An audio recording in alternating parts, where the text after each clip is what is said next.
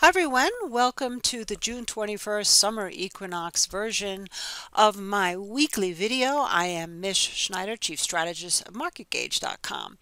And lots of different news going on. The CPI, obviously with the UK, but also here in the United States, the food prices have gone way up through the agriculturals. We pointed out corn for the last several weeks. That has made a big move. And the biggest culprit, of course, would be the weather. Now, we had the Fed meeting last week and this week was followed up by Powell really basically talking that he was still interested in raising rates to beat inflation.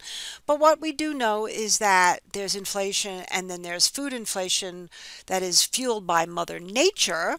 And of course, that's a very, very hard thing to beat because once these prices go up on these raw materials and shortages are in the silos and in the supply chain, then we start to see food hoarding by governments. But that's a whole other story. Let's take a look at some futures, and we're going to begin with the relationship between the US dollar and the Japanese yen. The actual Japanese stock market has been doing very well through the Nikkei. And the dollar, though, recently has had a little bit of rally, finding that support around 102 that we were talking about, but really not very much support. So what we're seeing right here is the dollar, which is the lead indicator, rallying against the yen as it took out that 140 level. But now that it has, and remember, if we look back historically here, we're talking about levels that we haven't seen since uh, November 2022. And so we just tested those levels. And now it looks to me like it's possible that it's getting a little bit tired. What would be a bona fide reversal would be, of course, this new high that we're seeing today. That would be at 142. 142.37 and the low at 141.34, we would actually see a move lower than that, which would mean that the yen was starting to outperform. And of course, we're seeing a golden cross here, which is the 50 that's clearing over the 200.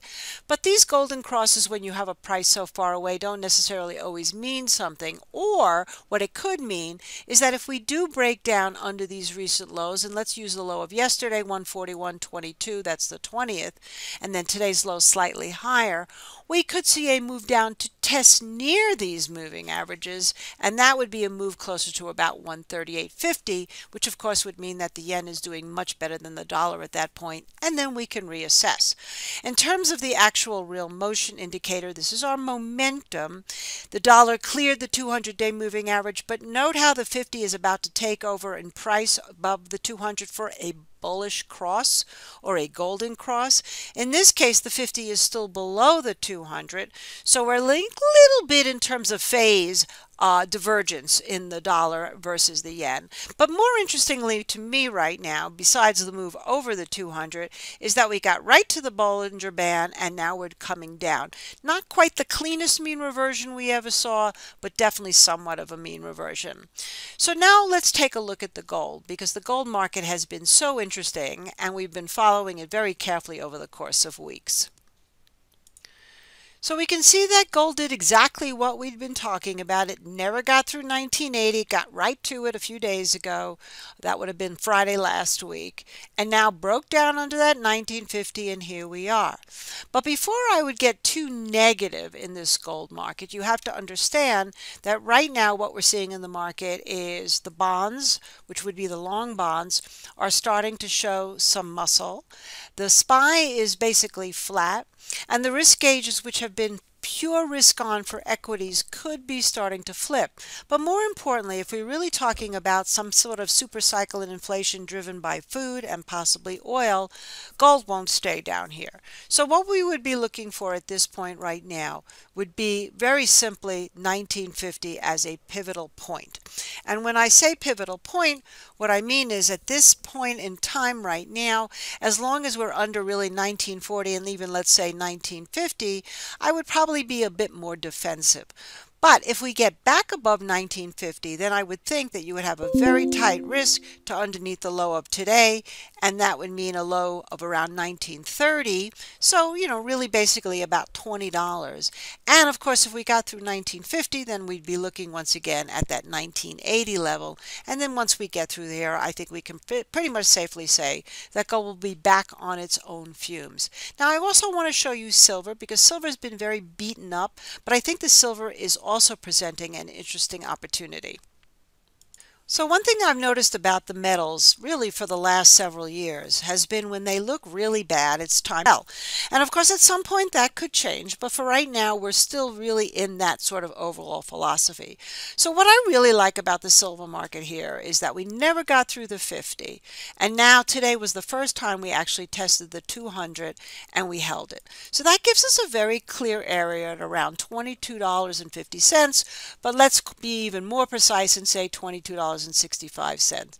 So here we are now, basically at the close at around 22.84. And you can see we've had a couple of lows here um, over the last month uh, in May. So right now, here's the thing that I would be looking for. If we can hold around this 2278 level, then that would be a pretty low risk down to the lows right here if it held and started to clear. Then, of course, our next hurdle would be 23, and that would be probably more of a psychological point than anything else. But you can see we have some work here. We go back to the high here was at around 23. We go back to the high here was around 23. Look at how it tested that 2250 right where it tested here today and then took off.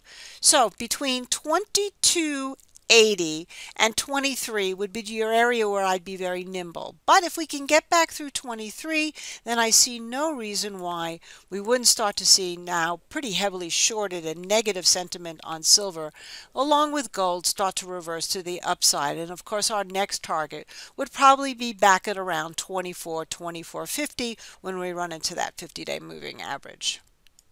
So it's oil that really has my attention because it was just last week when Goldman Sachs, as you can see right here, I've actually put this on this chart. I write it daily every day uh, that you can find in many different places. And I wrote about the fact that Goldman Sachs, just like so many other institutions, have been just wrong. And right now they've been very wrong so far about oil when they said that they thought oil would go another 10% lower at the actual low. Now, what we have right now, of course, and as we've talked about, is once it got through 70, that was a good point. And once again, now we're going to another moment of truth in terms of the WTI July futures contract once we get up to 73.30, which would be the 50-day moving average. So that tells me pretty simply right now, we've got a little bit of a range that we can trade off of. If we look kind of at like the pivotal area, I would say just slightly below 72. Let's call it 7170 to 7180. Really has to hold from a day trading perspective. That would be a tight stop. And if we get through and continue up over 7270, then we could start looking at these highs. And look at these two highs line up perfectly with the 50. And we clear over 7330.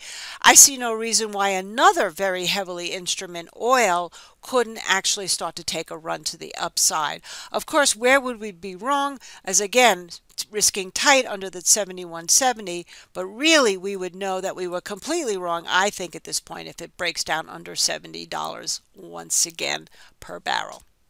So it was the corn chart that I've been focused on over the last several weeks. And I told you about the reversal bottom, uh, how I really liked it through 580, then obviously through the 50, over 6.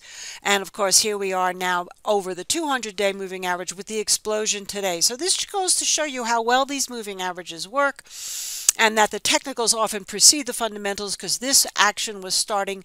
Obviously, seasonally, we knew there was a potential of drought, but the crop situation has been bad, even in uh, the Soviet Union. So now what we do at this point, I just wanted to show you, right now we'd like to see maybe some digestion, and if we go back just a little bit here in time, we're running into some resistance at around 671. Those were the last two highs before we saw this big drop. So I would say if we were looking for some kind of a weakness, we we'd want to see this hold around 660, 661. And if we wanted to continue to buy strength, and let's face it, commodities can get awfully emotional and keep going up in a parabolic move, I would say a move back over. And in that vein, here's something I have not shown you before. This is actually lumber physical futures, the July contract. And of course, the housing numbers in the United States have come back really strong. Uh, the big housing crash that everybody was anticipating. Once again, the economists in the institution institutional investors wrong. So here we had that classic reversal with a couple of inside days and then off she went through the 50. And now this is why I'm showing you the chart because it's very similar to me like corn. If we do a little bit of work here and consolidate and then get through this 200 day moving average, that would also be highly inflationary because it would mean that the price of wood is getting higher, in which case you could also be looking at copper and steel and all the other type of materials that go into building along with what we just showed you with food and even the other metals, the precious metals. And of course, 560 really up to about 567 would be your next place to be looking at as major resistance. And to wrap up, of course, uh, let's move over to equities. This is the Dow Jones Mini Futures contract related to the 30 stocks in the Dow Jones. Interestingly enough, the classic reversal pattern that you've heard me talk about over and over, whether it be to the bottom like here or to the top like we just saw last week, is one to note in that if we don't get through this 34, really it was about 34.9, let's call it 34,900, that could mean that we could be under pressure for a while, even if we're seeing this well above its 50-day moving average at this point, really not a breakdown into under 34,000. So from a trading perspective, I would say right now, we'd have to say that just looking back at some of those closes and the high from today, 34,400 is my pivotal point. We can't clear there.